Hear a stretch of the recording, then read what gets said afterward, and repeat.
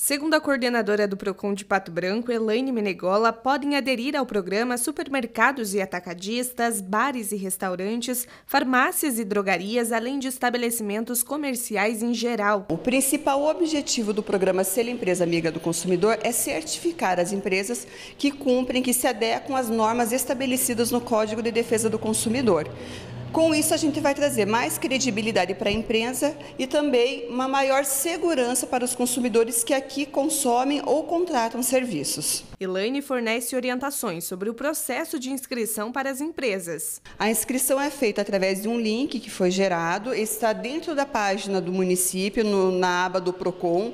Também dentro do Instagram do PROCON está o link, o fornecedor que tem interesse em participar vai nesse link, preenche todos os dados que estão solicitando lá, nos encaminham através do e-mail que também está indicado é, os documentos necessários para posterior avaliação. Então, a avaliação é, é verificada todos os requisitos que estão elencados no edital, como por exemplo o alvará de funcionamento, licença sanitária, vai depender de cada segmento né, é, que, que a empresa fizer parte, a gente vai fazer as verificações documentais. Na sequência, a gente parte com a questão da fiscalização, onde os nossos fiscais da vigilância sanitária vão verificar se a empresa está adequada, se ela já cumpre com os requisitos ou não.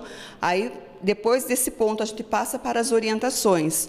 Até a edição passada, nós fazíamos um único workshop, é, onde a gente trazia algum, uma pessoa de fora, ou até mesmo nós fazíamos esse workshop conversando com as empresas.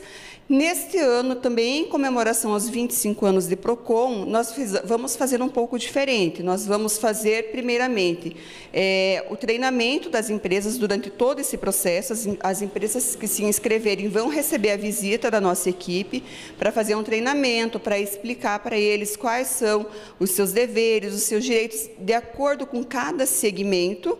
E aí, no dia da certificação, a gente terá o workshop com alguns palestrantes de fora.